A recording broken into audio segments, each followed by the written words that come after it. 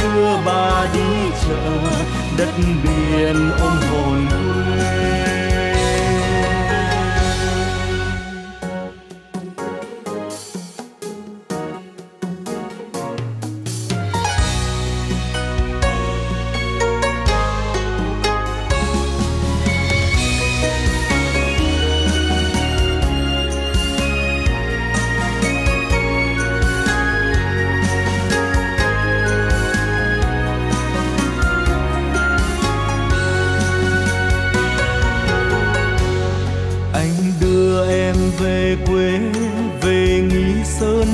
biển, nơi hồng màu da đỏ, tàu lướt sóng ra khơi. Bao năm xa quê hương, mang tình yêu cửa biển, chưa một lần gặp lại lán chợ cong đội mưa.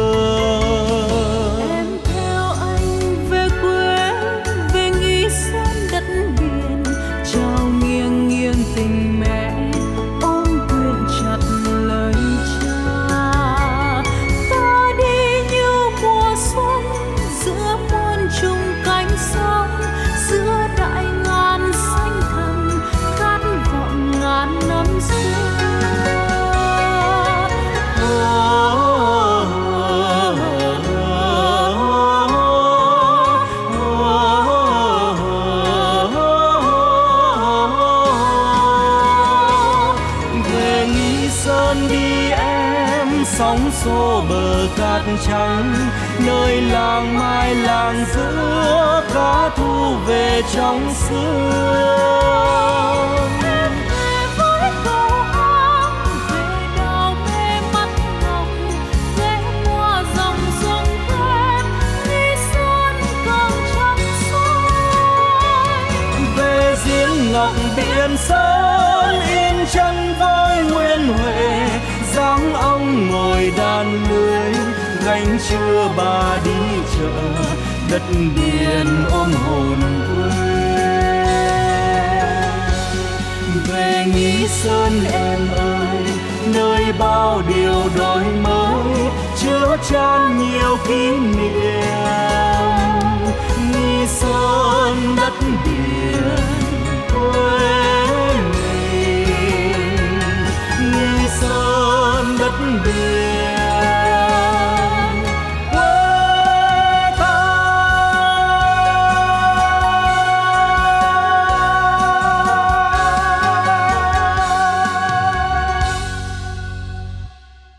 Kính chào quý vị và các bạn. Mời quý vị và các bạn theo dõi chương trình phát thanh của Trung tâm Văn hóa Thông tin Thể thao và Du lịch thị xã Nghi Sơn. Trong chương trình hôm nay, chúng tôi xin chuyển tới quý vị và các bạn những nội dung chính sau đây. Chỉ thị của Ban Thường vụ Thị ủy về tăng cường lãnh đạo công tác phòng ngừa, đấu tranh với tội phạm về ma túy, và trộm cắp tài sản trên địa bàn thị xã. Tham gia nghĩa vụ quân sự là trách nhiệm và nghĩa vụ thiêng liêng của mỗi công dân. Sau đây là nội dung chi tiết. Chỉ thị của Ban Thường vụ Thị ủy về tăng cường lãnh đạo công tác phòng ngừa, đấu tranh với tội phạm về ma túy và trộm cắp tài sản trên địa bàn thị xã. Trong những năm qua, các cấp ủy đảng, chính quyền, các ban ngành, mặt trận tổ quốc và các đoàn thể từ thị xã đến cơ sở, trong đó lực lượng công an làm nòng cốt, đã triển khai thực hiện quyết liệt, hiệu quả các giải pháp phòng ngừa, đấu tranh với các loại tội phạm và vi phạm pháp luật.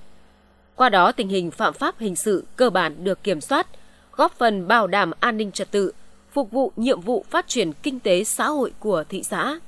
Tuy nhiên, tình hình tội phạm ma túy trên địa bàn thị xã vẫn còn diễn biến phức tạp. Các hoạt động mua bán, tàng trữ, tổ chức sử dụng trái phép chất ma túy với phương thức, thủ đoạn hoạt động ngày càng tinh vi và liều lĩnh. Cùng với đó, tội phạm trộm cắp chiếm tỷ lệ cao trong cơ cấu tội phạm, gây lo lắng bức xúc trong quần chúng nhân dân, làm ảnh hưởng đến tình hình an ninh trật tự trên địa bàn.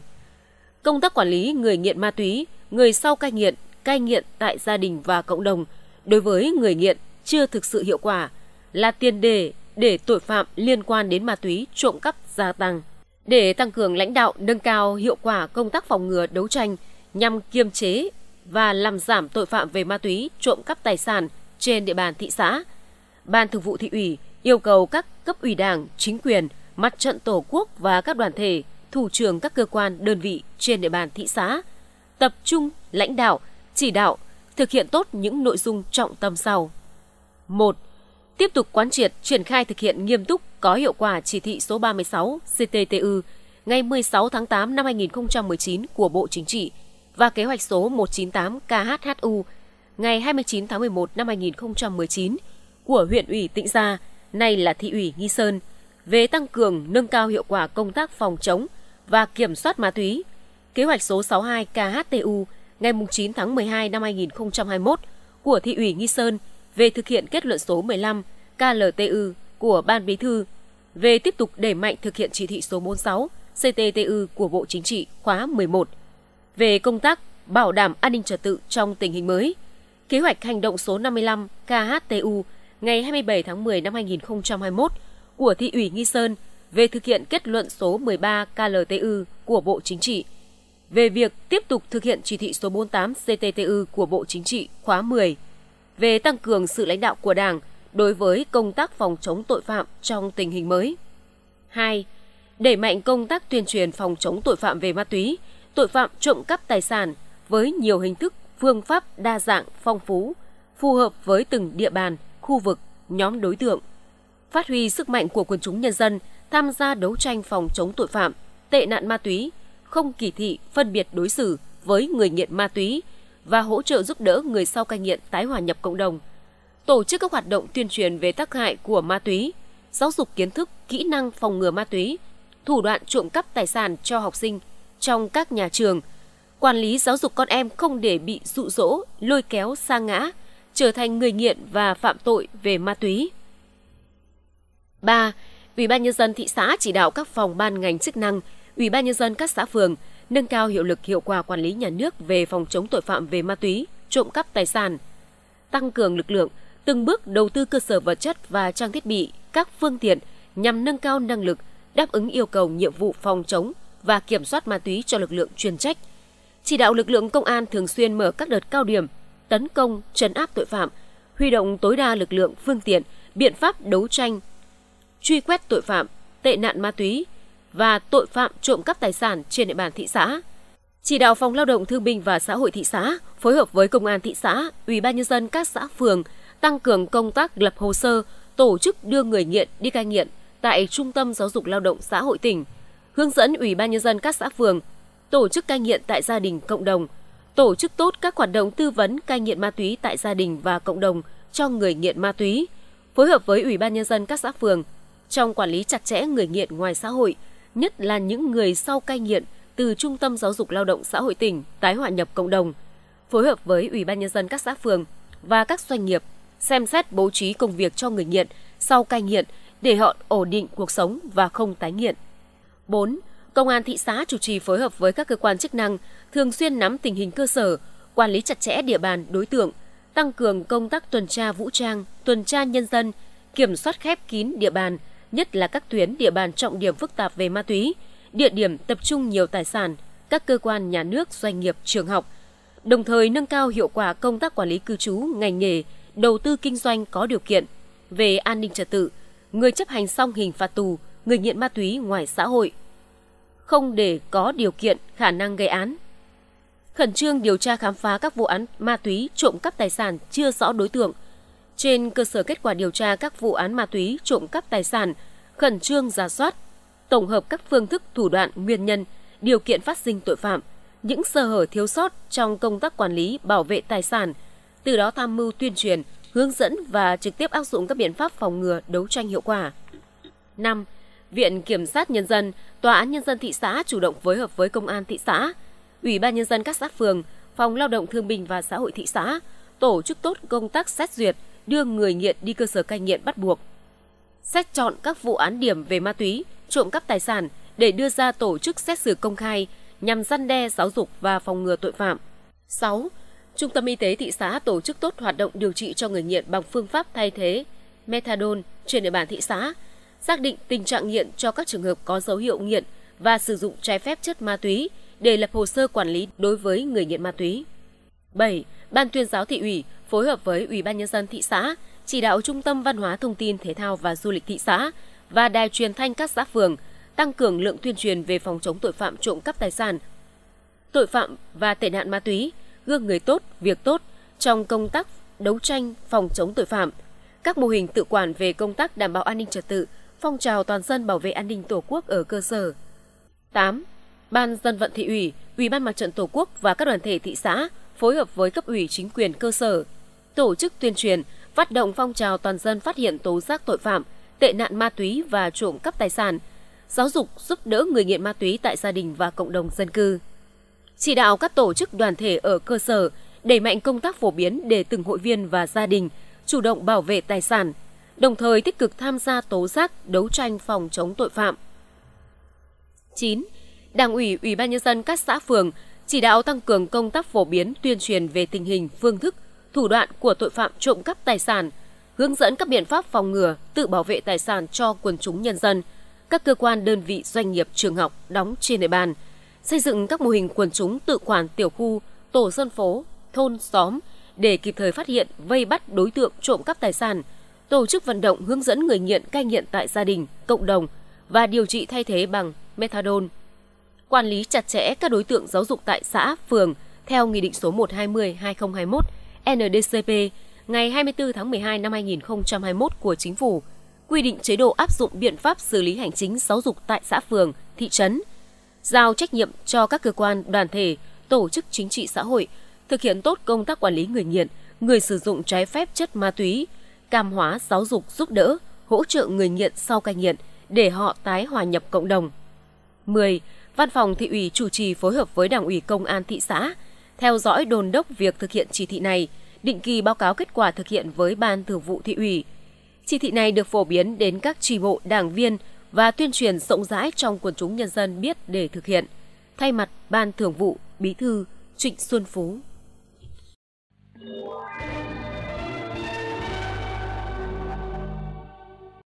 Thưa quý vị và các bạn, phát huy truyền thống của quê hương Nghi Sơn anh hùng, trong những năm qua, thanh niên thị xã Nghi Sơn đã nêu cao trách nhiệm, nghĩa vụ công dân, hăng hái lên đường nhập ngũ, rèn luyện ý chí quyết tâm của tuổi trẻ, không ngại khó, không ngại khổ, cống hiến sức trẻ, hoàn thành xuất sắc nhiệm vụ thiêng liêng, góp phần xây dựng quê hương và bảo vệ Tổ quốc. Năm 2023, thị xã Nghi Sơn được tỉnh giao tuyển chọn và gọi 216 công dân nam tham gia nhập ngũ. Trong đó nhập ngũ vào các đơn vị quân đội là 190 công dân, nhập ngũ vào các đơn vị công an là 26 công dân, tăng so với năm 2022 là 9 công dân. Để công tác tuyển chọn và gọi công dân nhập ngũ theo đúng quy định của Luật Nghĩa vụ quân sự năm 2015, Luật Công an Nhân dân và các văn bản hướng dẫn thi hành, đồng thời nêu cao tinh thần trách nhiệm của người đứng đầu các cấp, các ngành, các tổ chức chính trị xã hội, thành viên Hội đồng Nghĩa vụ quân sự các cấp trong công tác tuyển quân, Sau đây chúng tôi xin chuyển tới quý vị và các bạn các nội dung của luật nghĩa vụ quân sự. Nghĩa vụ quân sự là nghĩa vụ vẻ vang của công dân, phục vụ trong quân đội nhân dân. Công dân trong độ tuổi thực hiện nghĩa vụ quân sự không phân biệt dân tộc, thành phần xã hội, tín ngưỡng, tôn giáo, trình độ học vấn, nghề nghiệp, nơi cư trú phải thực hiện nghĩa vụ quân sự theo quy định của luật nghĩa vụ quân sự là nghĩa vụ. Mỗi địa phương, gia đình cần động viên khuyến khích con em mình tham gia thực hiện nghĩa vụ quân sự khi đến tuổi theo quy định. Một lớn, tiêu chuẩn tuyển quân. một Tuổi đời, công dân từ đủ 18 tuổi đến 25 tuổi, công dân nam được đào tạo trình độ cao đẳng đại học đã được tạm hoãn gọi nhập ngũ. Trong thời gian một khóa đào tạo của một trình độ đào tạo thì tuyển chọn và gọi nhập ngũ đến hết 27 tuổi. 2. Tiêu chuẩn chính trị A. Thực hiện theo thông tư liên tịch số 50-2016 ngày 15 tháng 4 năm 2016 của Bộ trưởng Bộ Quốc phòng, Bộ trưởng Bộ Công an quy định tiêu chuẩn chính trị tuyển chọn công dân vào phục vụ trong quân đội nhân dân Việt Nam. B. Đối với các cơ quan đơn vị và vị trí trọng yếu cơ mật trong quân đội, lực lượng tiêu binh, nghi lễ, lực lượng vệ binh và kiểm soát quân sự chuyên nghiệp, thực hiện tuyển chọn theo quy định của Bộ Quốc phòng.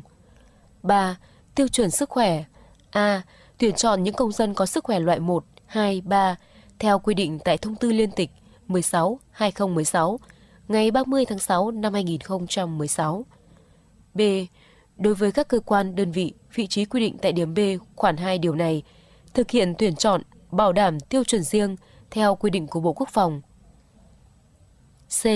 Không gọi nhập ngũ vào quân đội những công dân có sức khỏe loại 3, tật khúc xạ về mắt, cận thị 1,5 diop trở lên, viễn thị ở các mức độ. Nghiện ma túy, nhiễm HIV AIDS. 4. Tiêu chuẩn văn hóa. Tuyển chọn và gọi nhập ngũ những công dân có trình độ văn hóa lớp 8 trở lên, lấy từ cao xuống thấp. Những địa phương có khó khăn, không đảm bảo đủ chỉ tiêu giao quân thì báo cáo cấp có thẩm quyền xem xét quyết định được tuyển chọn số công dân có trình độ văn hóa lớp 7. Các xã thuộc vùng sâu, vùng xa, vùng điều kiện kinh tế xã hội đặc biệt khó khăn theo quy định của pháp luật. Đồng bào dân tộc thiểu số dưới 10.000 người thì được tuyển không quá 25% công dân có trình độ văn hóa cấp tiểu học, còn lại là trung học cơ sở trở lên. Hai lớn, trường hợp tạm hoãn và miễn gọi nhập ngũ. một Tạm hoãn gọi nhập ngũ đối với những công dân sau đây. Chưa đủ sức khỏe phục vụ tại ngũ, theo kết luận của Hội đồng Khám Sức Khỏe, là lao động duy nhất phải trực tiếp nuôi dưỡng thân nhân, không còn khả năng lao động hoặc chưa đến tuổi lao động. Trong gia đình bị thiệt hại nặng nề về người và tài sản do thiên tai, tai nạn, dịch bệnh nguy hiểm gây ra, được Ủy ban Nhân dân xã phường thị trấn, sau đây gọi chung là cấp xã xác nhận. Một con của bệnh binh, người nhiễm chất độc da cam, suy giảm khả năng lao động từ 61% đến 80%. Có anh chị hoặc em ruột là hạ sĩ quan, binh sĩ đang phục vụ tại ngũ. Hạ sĩ quan, chiến sĩ thực hiện nghĩa vụ tham gia công an nhân dân. Người thuộc diện di dân, giãn dân trong 3 năm đầu đến các xã đặc biệt khó khăn theo dự án phát triển kinh tế, xã hội của nhà nước do Ủy ban Nhân dân cấp tỉnh trở lên quyết định. Cán bộ công chức viên chức thanh niên sung phong được điều động đến công tác làm việc ở vùng có điều kiện kinh tế xã hội đặc biệt khó khăn theo quy định của pháp luật. Đang học tại cơ sở giáo dục phổ thông, đang được đào tạo trình độ đại học hệ chính quy thuộc cơ sở giáo dục đại học, trình độ cao đẳng hệ chính quy thuộc cơ sở giáo dục nghề nghiệp trong thời gian một khóa đào tạo của một trình độ đào tạo. 2. Miễn gọi nhập ngũ đối với những công dân là con của liệt sĩ, con của thương binh hạng 1, một anh hoặc một em trai của liệt sĩ, một con của thương binh hạng 2, một con của bệnh binh suy giảm khả năng lao động từ 81% trở lên, một con của người nhiễm chất độc da cam suy giảm khả năng lao động từ 81% trở lên. Người làm công tác cơ yếu không phải là quân nhân, công an nhân dân. Cán bộ công chức, viên chức, thanh niên sung phong được điều động đến công tác làm việc ở vùng có điều kiện kinh tế, xã hội đặc biệt khó khăn, theo quy định của pháp luật, từ 24 tháng trở lên. Công dân thuộc diện tạm hoãn gọi nhập ngũ quy định tại khoản 1 điều này, nếu không có lý do tạm hoãn thì được gọi nhập ngũ. Công dân thuộc diện được tạm hoãn gọi nhập ngũ hoặc được miễn gọi nhập ngũ quy định tại khoản 1 và khoản 2 điều này. Nếu tình nguyện thì được xem xét tuyển chọn và gọi nhập ngũ. Danh sách công dân thuộc diện được tạm hoãn gọi nhập ngũ và miễn gọi nhập ngũ phải được niêm yết công khai tại trụ sở Ủy ban nhân dân cấp xã, cơ quan tổ chức trong thời hạn 20 ngày kể từ ngày Chủ tịch Ủy ban nhân dân huyện ký quyết định. Ba lớn, quyền lợi nghĩa vụ của công dân khi thực hiện nghĩa vụ quân sự. 1. Đi nghĩa vụ quân sự được hưởng những quyền lợi gì? Điều 4. Luật nghĩa vụ quân sự năm 2015 quy định, nghĩa vụ quân sự là nghĩa vụ vẻ vang của công dân, phục vụ trong quân đội nhân dân, thực hiện nghĩa vụ quân sự bao gồm phục vụ tại ngũ và phục vụ trong ngạch dự bị của quân đội nhân dân. 2. Công dân trong độ tuổi thực hiện nghĩa vụ quân sự không phân biệt dân tộc, thành phần xã hội, tín ngưỡng, tôn giáo, trình độ học vấn, nghề nghiệp, nơi cư trú, phải thực hiện nghĩa vụ quân sự theo quy định của luật này. 3. Công dân phục vụ trong lực lượng cảnh sát biển và thực hiện nghĩa vụ tham gia công an nhân dân được coi là thực hiện nghĩa vụ quân sự tại ngũ. Đi nghĩa vụ quân sự được hưởng những quyền lợi sau. Được nghỉ phép hàng năm, hạ sĩ quan binh sĩ phục vụ tại ngũ từ tháng 13 trở đi nghỉ phép hàng năm, thời gian nghỉ là 10 ngày, không kể ngày đi và về. Hạ sĩ quan binh sĩ đã nghỉ phép năm theo chế độ, nếu gia đình gặp thiên tai, hỏa hoạn nặng, hoặc người thân từ trần mất tích, hoặc hạ sĩ quan binh sĩ lập được thành tích đặc biệt xuất sắc trong thực hiện nhiệm vụ, thì được nghỉ phép đặc biệt, thời gian không quá 5 ngày, không kể ngày đi và về. Được thanh toán tiền tàu, xe, tiền phụ cấp đi đường theo quy định hiện hành. Căn cứ pháp lý điều 3, Nghị định 27-2016 NDCP, không mất phí chuyển bưu phẩm tiền. Theo điều 5, Nghị định 27-2016 NDCP, hạ sĩ quan binh sĩ tại ngũ được miễn tiền cước khi chuyển tiền, bưu phẩm, bưu kiện, được cấp 4 tem thư trên một tháng, khi tham gia tuyển sinh được cộng điểm ưu tiên. Trước khi nhập ngũ là thành viên hộ nghèo, học sinh sinh viên, nếu vay tiền từ ngân hàng chính sách xã hội thì được tạm hoãn trả và không tính lãi suất trong thời gian tại ngũ. Chế độ đối với người nhà hạ sĩ quan, binh sĩ tại ngũ, nhà ở gặp tai nạn, hỏa hoạn, thiên tai dẫn đến sập hư hỏng, trợ cấp 3 triệu đồng trên một suất trên lần. Thân nhân bị ốm đau từ một tháng trở lên hoặc điều trị một lần tại bệnh viện từ 7 ngày trở lên, trợ cấp 500.000 đồng trên một thân nhân trên một lần. Thân nhân từ trần mất tích, trợ cấp 2 triệu đồng trên người. Con đẻ, con nuôi hợp pháp được miễn giảm học phí. Căn cứ pháp lý, Điều 6 Nghị định 27-2016 NDCP 2. Quyền lợi của quân nhân sau khi xuất ngũ được hưởng trợ cấp xuất ngũ một lần, cứ mỗi năm phục vụ trong quân đội được trợ cấp 2 tháng tiền lương cơ sở. Trợ cấp tạo việc làm, mức trợ cấp bằng 6 tháng tiền lương cơ sở. Tổ chức buổi gặp mặt chia tay trước khi xuất ngũ, mức chi là 50.000 đồng trên người, được tiễn và đưa về địa phương cư trú hoặc cấp tiền tàu xe và phụ cấp đi đường. Được tiếp nhận vào học các trường học đang học trước đó, trước khi nhập ngũ đang học tập hoặc có giấy gọi vào học tại các trường thuộc cơ sở giáo dục nghề nghiệp, cơ sở giáo dục đại học thì được bảo lưu kết quả, được tiếp nhận vào học các trường đang học trước đó, trước khi nhập ngũ đang học tập hoặc có giấy gọi vào học tại các trường thuộc cơ sở giáo dục nghề nghiệp, cơ sở giáo dục đại học thì được bảo lưu kết quả và được tiếp nhận vào học ở các trường đó sau khi xuất ngũ. Được trở lại làm việc tại nơi trước khi nhập ngũ đang làm. Đối với trường hợp trước khi nhập ngũ, làm việc tại cơ quan nhà nước, tổ chức chính trị, tổ chức chính trị xã hội, được tiếp nhận lại bố trí việc làm và bảo đảm thu nhập không thấp hơn trước khi nhập ngũ. Nếu cơ quan này bị giải thể, thì cơ quan tổ chức cấp trên trực tiếp phải bố trí việc làm phù hợp. Đối với trường hợp trước khi nhập ngũ, làm việc tại tổ chức kinh tế, được tiếp nhận lại, bố trí việc làm và bảo đảm tiền lương, tiền công tương xứng với vị trí việc làm, tiền lương, tiền công trước khi nhập ngũ. Nếu tổ chức kinh tế đã chấm dứt hoạt động, giải thể, phá sản, thì giải quyết chế độ, chính sách như người lao động của tổ chức kinh tế đó. Lưu ý, trong trường hợp không tiếp nhận lại, bố trí việc làm cho người xuất ngũ, thì sẽ bị phạt từ 5 đến 10 triệu đồng, đồng thời buộc phải tiếp nhận người hoàn thành nghĩa vụ quân sự trở về cơ quan, tổ chức cũ làm việc. Được hưởng bảo hiểm xã hội một lần, mức hưởng là 2 tháng, mức bình quân tiền lương đóng bảo hiểm xã hội cho mỗi năm đóng bảo hiểm xã hội.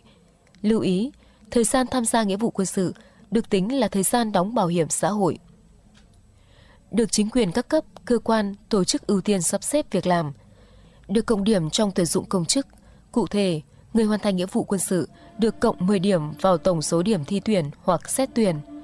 được ưu tiên trong xác định người trúng tuyển trong kỳ thi tuyển viên chức. Cụ thể, nếu có từ hai người trở lên có kết quả thi bằng nhau tại các bài thi chuyên môn, nghiệp vụ chuyên ngành bằng nhau, thì người hoàn thành nghĩa vụ quân sự sẽ được ưu tiên tuyển dụng. Trong thời gian tập sự, được hưởng 100% mức lương và phụ cấp của ngạch tuyển dụng tương ứng với trình độ đào tạo. Được hỗ trợ đào tạo nghề, mức chi hỗ trợ đào tạo nghề theo điều 10, thông tư 152-2016, TT-BTC, mức hỗ trợ tiền ăn 30.000 đồng trên người trên ngày thực học, mức hỗ trợ tiền đi lại 200.000 đồng trên người trên một khóa học nếu địa điểm đào tạo xa nơi cư trú từ 15 km trở lên, được miễn giảm học phí, được vay vốn để tham gia đào tạo nghề, trình độ trung cấp, cao đẳng đối với người có hoàn cảnh khó khăn. Bốn lớn, xử lý vi phạm trong trường hợp trốn tránh nghĩa vụ quân sự. Điều 59, Luật Nghĩa vụ quân sự quy định,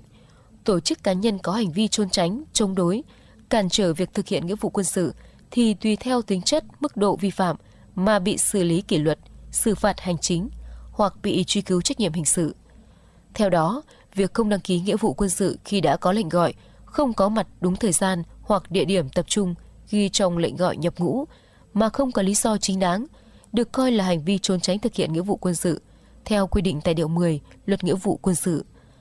Tùy theo tính chất, mức độ, người vi phạm có thể bị xử lý kỷ luật, xử phạt hành chính hoặc bị truy cứu trách nhiệm hình sự. Năm lớn, trách nhiệm của Ủy ban Nhân dân cấp xã thực hiện trách nhiệm theo quy định tại khoản 1 điều 6, thông tư số 148-2018 TT BQP và chỉ đạo Hội đồng Nghĩa vụ quân sự, các ban ngành liên quan và các thôn thực hiện tuyển quân đúng quy định, đảm bảo đủ chỉ tiêu, chất lượng giao quân. Chỉ đạo các thôn tổ chức bình cử, đề xuất công dân nam trong độ tuổi thực hiện nghĩa vụ quân sự đi sơ tuyển thực hiện nghĩa vụ quân sự đúng quy định, bảo đảm dân chủ, công bằng, công khai, chất lượng, hiệu quả. Trực tiếp sơ tuyển, xét duyệt công dân nhập ngũ, báo cáo Ủy ban Nhân dân cấp huyện, danh sách công dân đủ điều kiện nhập ngũ, tạm hoãn gọi nhập ngũ và miễn gọi nhập ngũ, lập hồ sơ, nghĩa vụ quân sự và các thủ tục liên quan đối với công dân đủ điều kiện gọi nhập ngũ để bàn giao cho Ban Chỉ huy quân sự cấp huyện. Thực hiện niêm yết công khai tại trụ sở Ủy ban nhân dân cấp xã theo quy định và thông báo công khai đến từng thôn những nội dung sau. Chỉ tiêu tuyển quân huyện giao cho xã, điều kiện tiêu chuẩn tuyển quân, trường hợp tạm hoãn gọi nhập ngũ và miễn gọi nhập ngũ, danh sách công dân trong diện nhập ngũ, danh sách công dân tạm hoãn gọi nhập ngũ, miễn gọi nhập ngũ, danh sách công dân đủ điều kiện nhập ngũ, kết quả phân loại sức khỏe theo quyết luận của Hội đồng khám sức khỏe, thực hiện nghĩa vụ quân sự, danh sách công dân trúng tuyển nghĩa vụ quân sự sẵn sàng nhập ngũ, chỉ đạo ban chỉ huy quân sự xã phối hợp với các ban ngành liên quan hướng dẫn những công dân được phát lệnh gọi nhập ngũ, lập tờ khai tham gia bảo hiểm y tế theo mẫu, có xác nhận của Ủy ban nhân dân cấp xã để bàn giao cho ban chỉ huy cấp huyện cùng với hồ sơ nghĩa vụ quân sự. Chỉ đạo ban chỉ huy quân sự xã phối hợp với công an xã và các ban ngành đoàn thể nắm chắc tiêu chuẩn chính trị, đạo đức và những vấn đề mới phát sinh của công dân chuẩn bị nhập ngũ, kịp thời thông tin và cung cấp để ban chỉ huy quân sự cấp huyện và đơn vị nhận quân biết quản lý, phối hợp với đơn vị nhận quân và gia đình giải quyết quân nhân đào ngũ, bỏ ngũ theo quy định của pháp luật. Tham gia nhập ngũ là nghĩa vụ vẻ vang của công dân phục vụ trong quân đội nhân dân. Cơ quan, tổ chức cá nhân và gia đình có trách nhiệm giáo dục, động viên và tạo điều kiện cho công dân thực hiện nghĩa vụ quân sự. Tổ chức cá nhân có hành vi trốn tránh, chống đối, cản trở việc thực hiện nghĩa vụ quân sự thì tùy theo tính chất, mức độ vi phạm mà bị xử lý kỷ luật, xử phạt hành chính hoặc truy cứu trách nhiệm hình sự.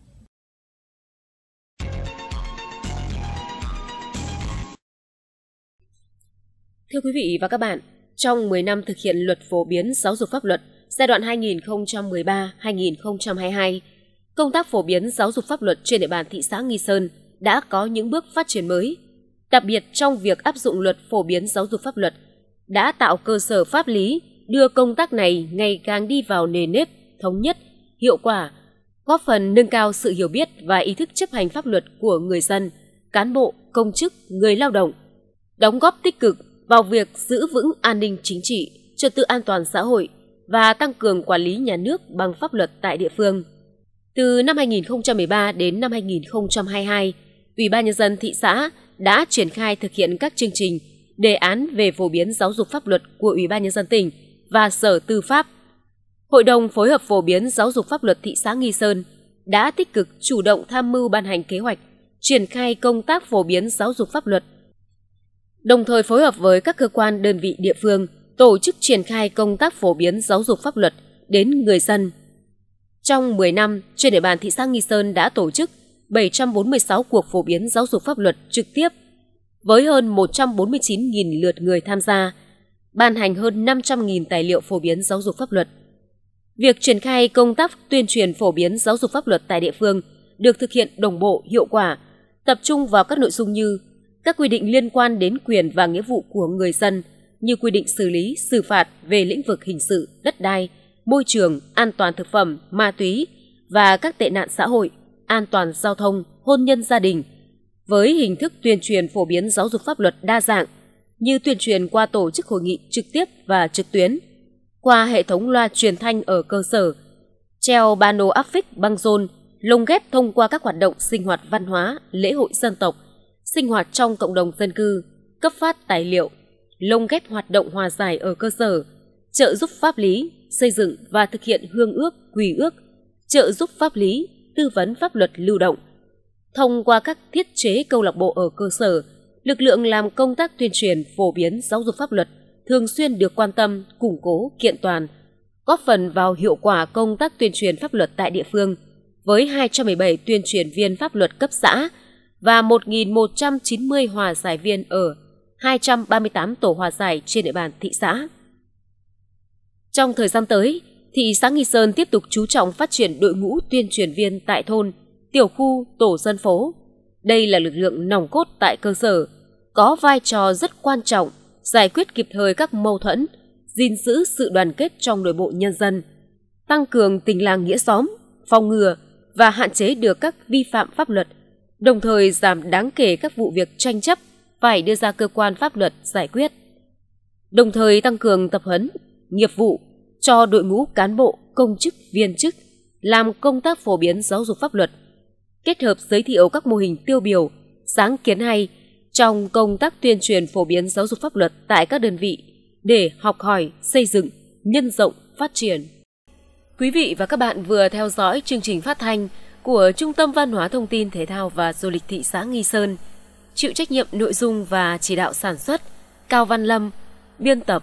Trung Hiếu, kỹ thuật truyền dẫn phát sóng Trung Luyến. Cảm ơn sự quan tâm theo dõi của quý vị và các bạn. Xin kính chào và hẹn gặp lại.